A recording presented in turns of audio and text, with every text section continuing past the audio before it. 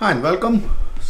This is part 4 for setting up always on 3 node multi subnet cluster on your own laptop. So let's get going. In this particular video, we'll talk about how to configure your laptop to boot with a new virtual hard disk, which will have Windows 10 installed in it, which will use it. So quickly, we'll cover how the GitHub repository is, right? And then we'll see what are the new files for to practice this particular session. You can download and then this folder structure you have seen last time. So we downloaded Windows Server 2019 evaluation, SQL Server 2019 evaluation, as well as SSMS. Set up all the folders. Today you will see how to download Windows 10 Enterprise Evaluation Edition and then set it up as your host Hyper-V VM. So that way you can basically run Hyper-V and create all the VMs we need for always on setup. So let's get going. As you can you can see I've logged into my laptop which we'll be using for this configuration. Let's see how typical configuration is. This is probably a typical laptop which you'll get. Um, there's only some SDXC, some attachment is there, a USB drive, but there's only one C drive where all the files, files are there. Uh, it could be, if it's a company laptop, I won't recommend do it, but it's a personal laptop. It's pretty safe to do what we are doing. Uh, basic idea is we're going to create a folder here and that folder will create a virtual file and then basically boot from that virtual file. So when you boot back in, you'll see a new drive show up here, which the C drive will become that D drive and there will be a new C drive with 128 gig of space which you can play around. And it's just a VHD file. And if I go this this is a VHD file so that's what we want to create and then just boot from this file. So this file is 128 GB in size as you can see. Let's start our PowerShell script.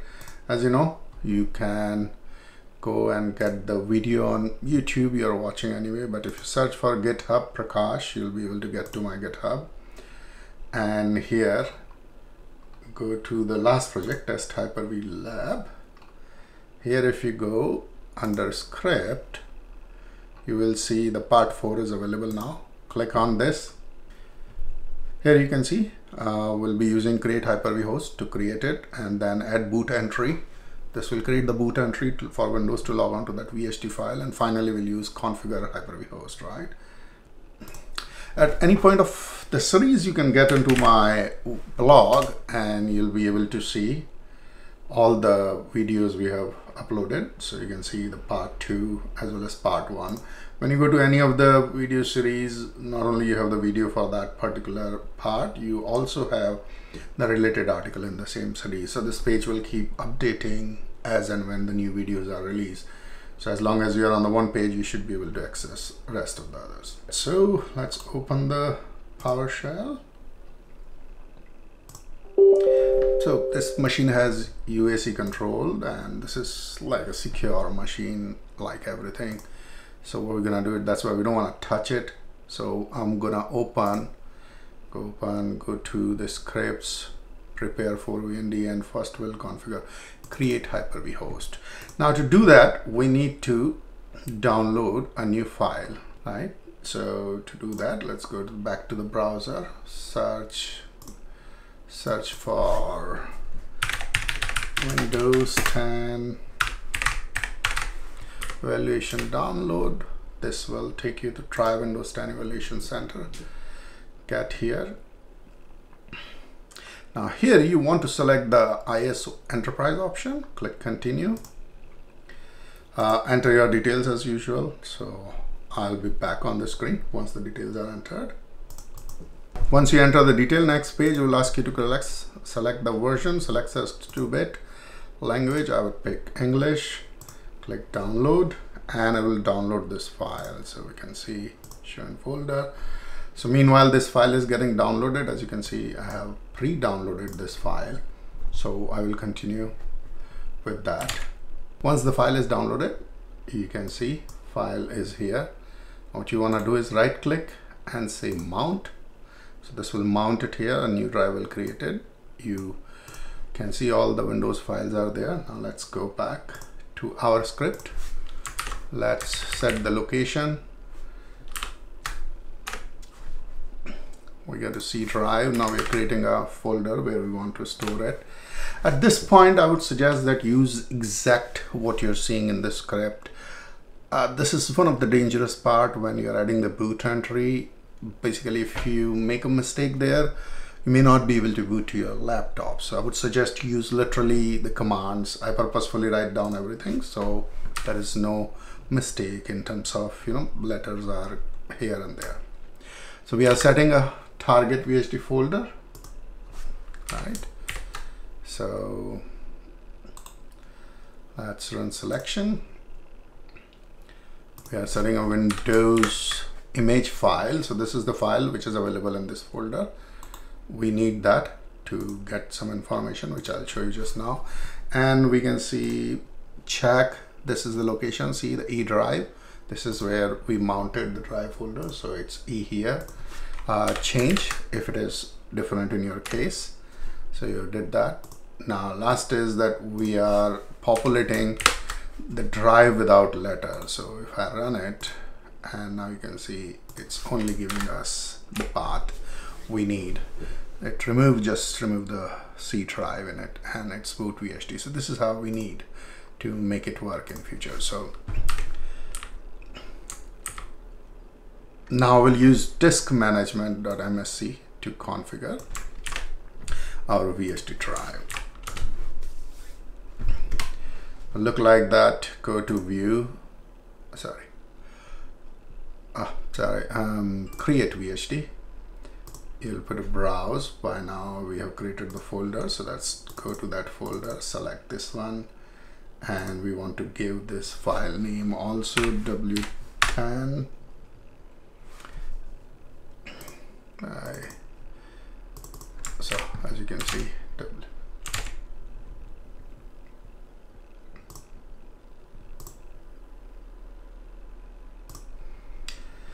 W10 VHD is VHD so change the option to VHDX that should look good. Click save. Here you'll be selecting site. Change it to 128 GB this is all the space we need to create five different VMs uh, set up as a router set up as a domain controller and the other three for you know testing. Actually four for testing. Three node always on setup plus an app server. So that's what 128 gig is more than enough change it to VHDX because we want dynamically expanding. You can go with fixed size, but then you have to make some changes. For this demo purpose, I would suggest you go with that. Later on, you can try it on your own and change things and do what you feels right.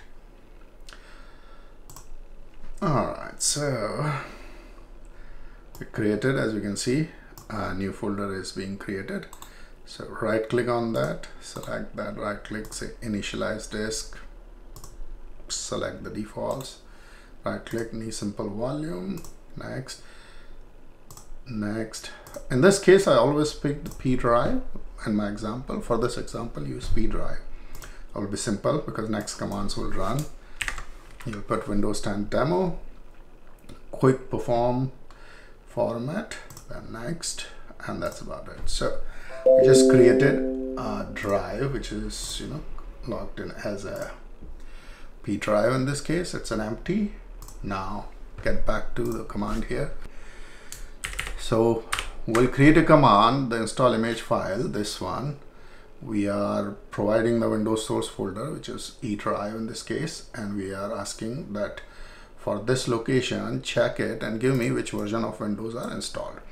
If you're using enterprise edition you evaluation one the one downloaded you'll find there's only one uh, is available. If you have other windows versions then probably you'll see different numbers and you can pick. For this demo purpose i would say go with uh, what we have. As i said uh, this is the risky bit. When you're making a boot entry changes if you're comfortable with that yeah you can do all that. So here i come i picked the index number one and i supplied it here. Destination is p drive and we're gonna run this command now this command is applying Windows 10 Enterprise Edition to P drive. This may take up to 15 minutes and let's quickly take a look. So you can see the files start getting copying here. Once it's done, we'll be back. I'm back. So once it's done, come back, we'll start disk management again.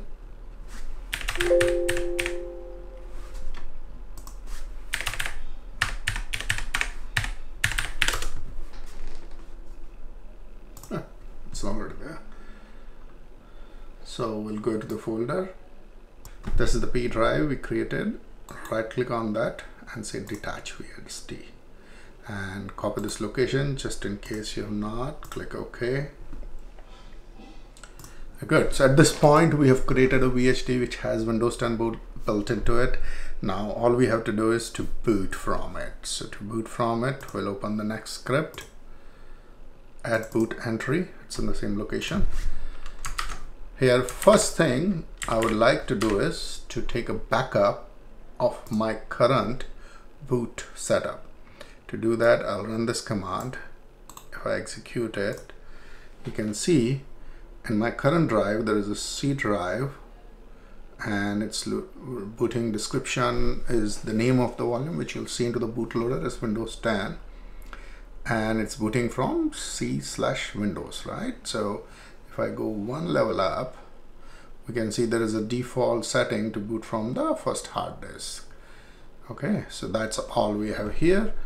Uh, we want to add one more entry here and that's what we'll do. But before we do that we want to back up this particular data so that in case something doesn't go right we can go back and import it like this sort of import command. So I give it a name put it 912 let's change it today's name 913 put it into a variable. We can up the export. And the file is exported. And next to commands I purposefully mention it. So you want to copy this import command save it somewhere here replace it with this file so that in case thing doesn't go right you can come back and you can uh, restore it uh, but remember if you mess up something here in this particular part your laptop will not boot and then there is a very long process to basically you know reset your boot entries and set it up. So be careful what you do here. As long as you're following this article you should not get much problem.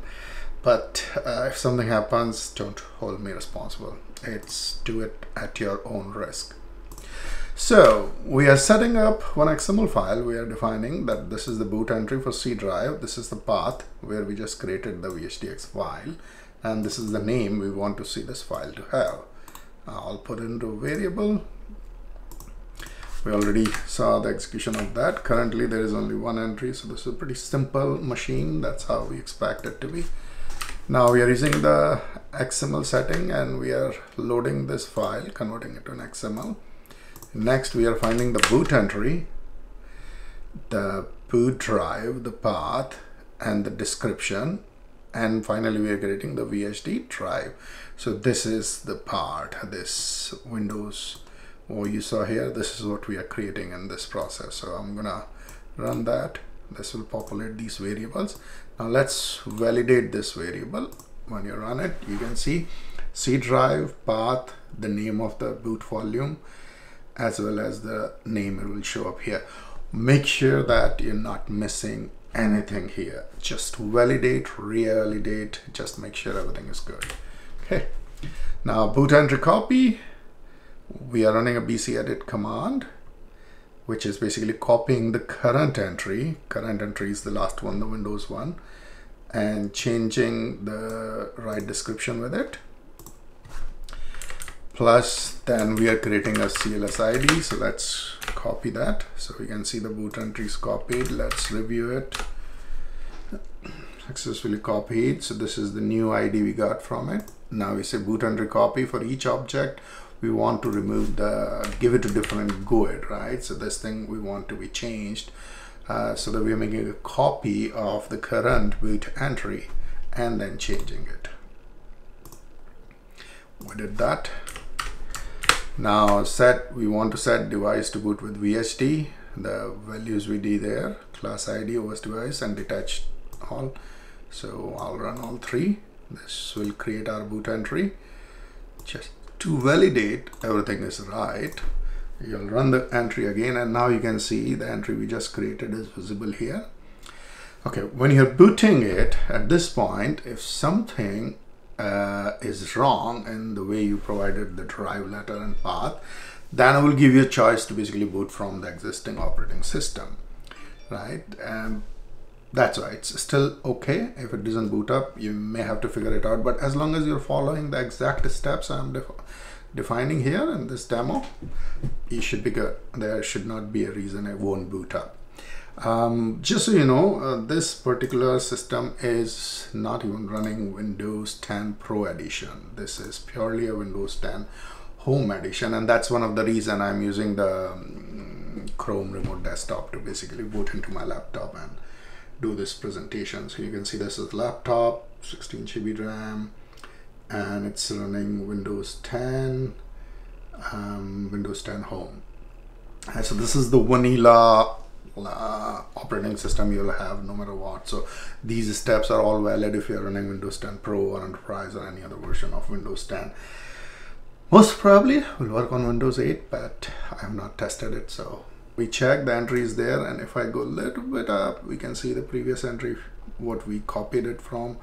Um, here you can see the recovery sequence and resume object. That's what we wanted to make sure that change identifier is from current to this has been modified. Okay so we are good. At this point we are ready to boot. I would say close the file. File and when you do the boot this time you should be seeing uh, the boot entry for the next drive. Click select on it and keep going next and that will give you an option to set up a plain Windows 10 which I will just show you in a bit. As you can see I'm I have created another VM VHD so we can record these screens which you'll be seeing in your laptop. So this is a demo Ryzen another VM I created so could show you these steps. Okay so at this point you can see we are booting it from the new VHD and we'll be getting a setting. First select United States, I'm in US, so pick that. Uh, pick whatever is suitable in your case. I'll be using the test values for suitable to me, so make any changes needed here. Click US, I'll skip second keyboard. It says connect to the network I will say at this point I'm saying I do not have internet.